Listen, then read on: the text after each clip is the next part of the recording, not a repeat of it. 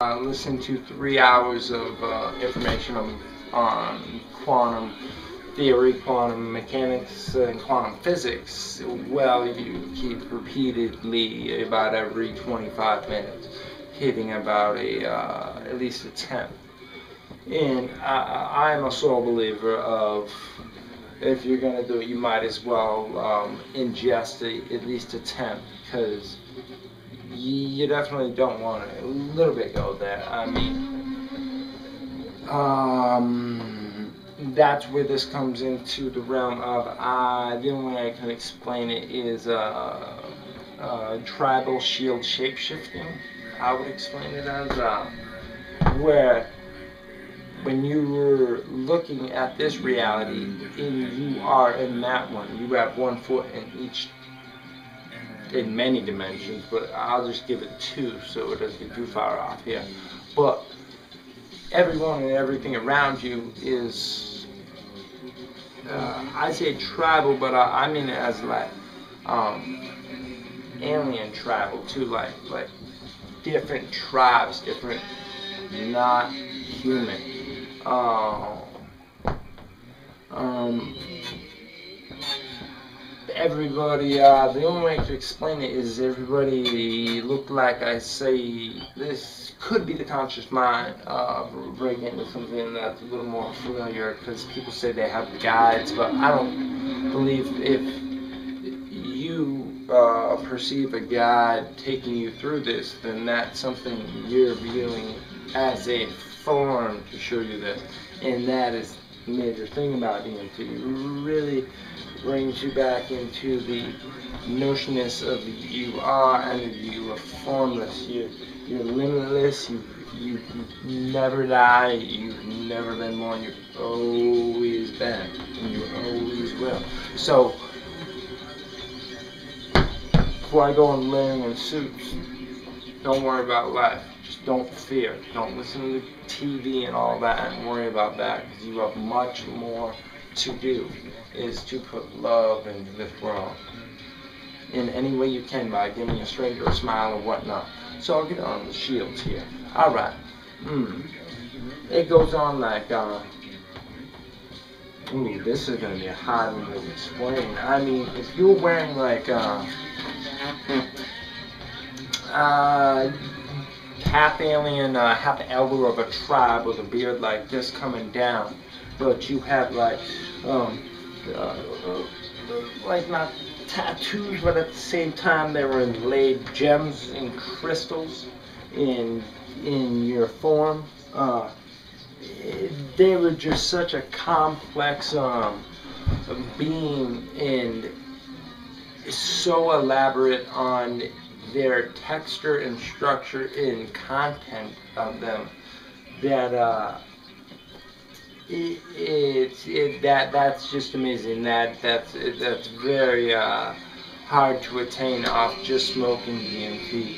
Uh, it is more readily attained through drinking the brew uh, ayahuasca, which is a uh, uh, has uh, dimethyltryptamine in it and it has a, a much longer effect, not as high of a peak, but um, definitely not high as a peak, especially if you really get down on some good NN, you can go.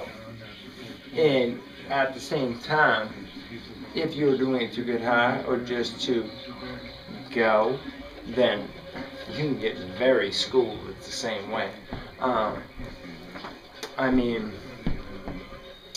definitely, uh, yeah, you can get schooled. I, uh, uh, last time I got schooled, actually, I thought a friend of mine uh, had kicked me some some orange, and and actually it was the uh, it was white. It was a five, and you know I I threw a bunch on. Thought it was gonna be cool. This big crystal was uh, chilling, and you know I hit it, and lay back with some music, and woke up and my room was torn apart. The rug was in the middle of the floor, and the like ripples and waves that that 44, 45 pound uh, Canadian quartz cluster from uh, Quebec with over a thousand terminations was on the ground.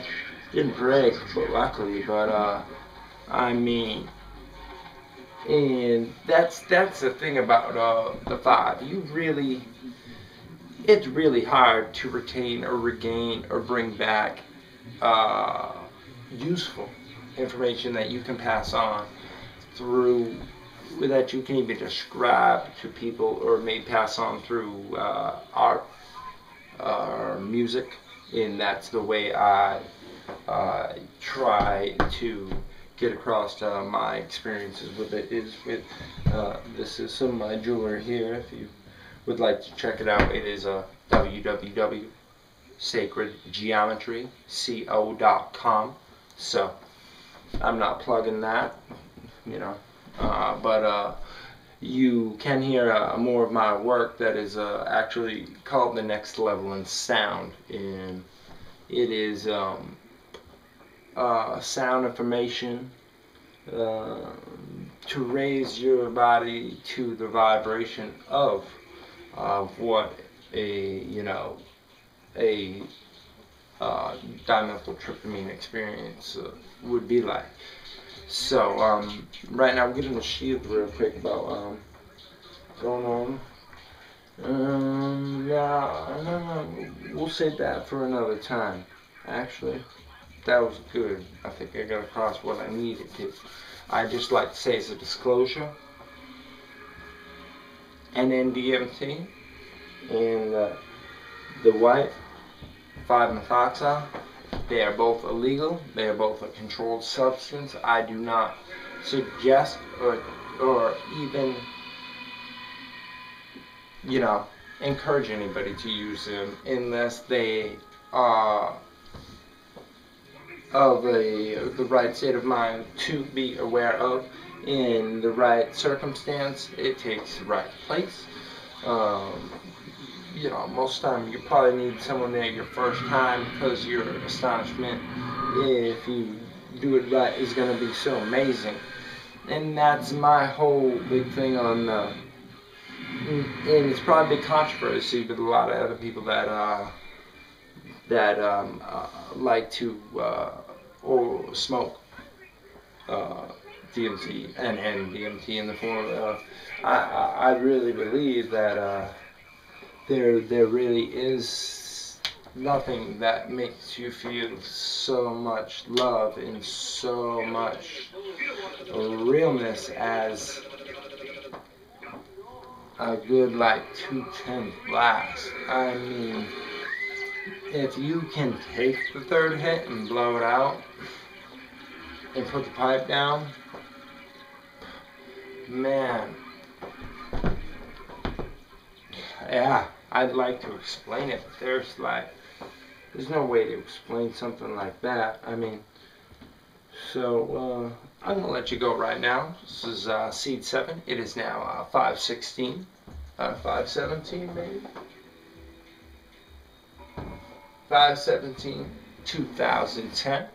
I'd like to thank you all for listening in and uh, uh, taking the time to uh, hear my views on on uh, the use of uh, DMT and, uh, and my views on what I think it, it really has the capabilities of doing. So, to everyone out there, blessings and love. Namaste. Universal oneness.